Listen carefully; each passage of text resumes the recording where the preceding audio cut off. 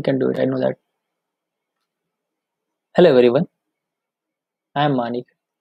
So uh, today i'm going to show you how to create a data set in uh, roboflow actually. Okay? So uh, first of all you need to have a roboflow account. You can uh, sign in with that. Okay? So i have my roboflow account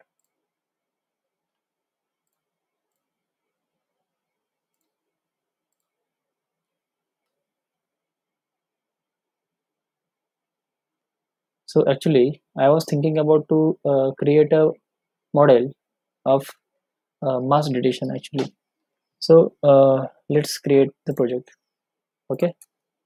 So uh, write the name of your project and what things are you, you gonna uh, detect on that. So in this project i'm to detect mask. So i'm uh, giving the mask name here okay so just create project after you create you can see the first uh, page is upload. Okay so uh, I have two two folders. Uh, one with not mask I mean without mask. So upload whatever photos you have whichever photo you want to annotate into this project okay so with mask I have with mask five photos. Okay? So now these are total 10 photos actually. So just go and click on finish uploading. After that you will see how shall we slip these images. Okay? So 70 20 and 10 this is how we gonna it uh, split into. If you want then you can change it to any anything you want. Okay after you click it then uh, these photos will be uploaded to the Roboflow account. Then after that you can annotate it okay? So I'm going to show you how to annotate the image images. So uh, open this first image. So now here we we need to uh, find the mask right? So uh, select those those this area select the area which which are the detection is going to happen okay? So right uh, i'm going to select my whole face with the mask. So yeah in this photo we can see the mask. So so and read this as a mask okay? Like this. So next photo in this photo i'm having the mask. So like this i'm gonna select it as a mask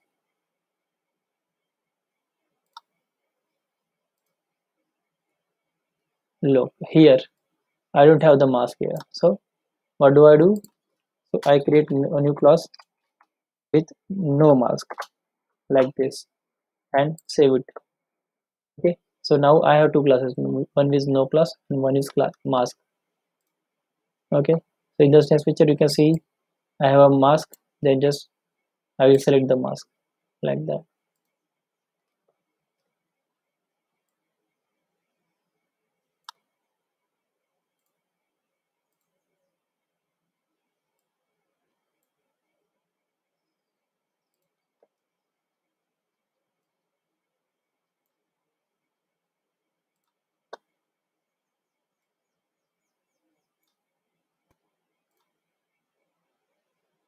okay? After you're done then go back. And then just generate new version. Once you created the new version you will see there are uh, a tab come which which shows information about the source images. So total we have uh, 10 images and two classes. Two classes which two classes? One is mask and one is not mask. No mask actually. Okay? And uh, yeah. The this train and test bed okay? So train validation and test bed it divided in divided. In the processing you you want to change the size of the images after the annotation and after after the uh, data augmentation part. So you can do it. So uh, write whatever size you want in here and it will be applied applied okay? And there are some other processing options like this uh, grayscales auto adjust context title and modify classes like this. So you you want anyone any else other? Then you can apply. Sure. After this after you uh, applied whatever you want then just continue. Then the augmentation part comes. Here you can do a lot of things like this. Like you can flip the images rotate to the 90 degree crop the images rotate images share images grayscale. Here you can also apply the grayscale. So uh, let me show you some uh, some of the some of these okay? So first one i'm going to apply the 90 degree rotation like this. So it will what what it will do? It will rotate clockwise 90 degree clockwise and 90 degree anti-clockwise like this okay? And just apply. That will be just fine. And if you want something else then here i'm going to apply the brightness here. You can see. You can apply the brightness. Okay. So 27 percent brightness it doesn't mean that it will just brighter. It will also darker darker of 20 27 percent. Okay. So like this you can add as many annotations augmentation you want process. Okay. So after that you just need to generate the dataset so here in uh, Robo, RoboFlow you will get up to 3x free so if uh, in this case I have just okay so 3x means I will get total of 24 images. Okay? So after I create generated then this the file is generated. Okay? Look at this. This is the all annotation file. And whatever we have generated the new images that also get annotation annotated itself. Then after that uh, choose whatever format you want into. So uh, if you want to do in YOLO Darknet if you are doing this uh, detection part into the Elo YOLO so, so you can download the download it as in YOLO Darknet or YOLO v3 Keras, YOLO v4 or any if you want it, it is in CSV file then also you can do it.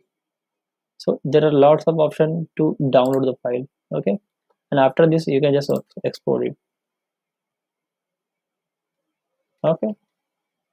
So it will create a zip file and you can download this code. The whole raw files. Okay. And uh, I want to show something else. So the thing is uh, you can totally uh, totally you can apply 1000 source images. So up to 1000 it is free. After that you you have to pay for it okay. And okay let me show you something else. So if you have to pay then how much? So this is the starter plan pricing actually. So 1000 images is free and generated images generated images up to 5000 free okay? So if you want 2500 then you have to pay for 50 dollar per month okay? Thank you. Have a nice day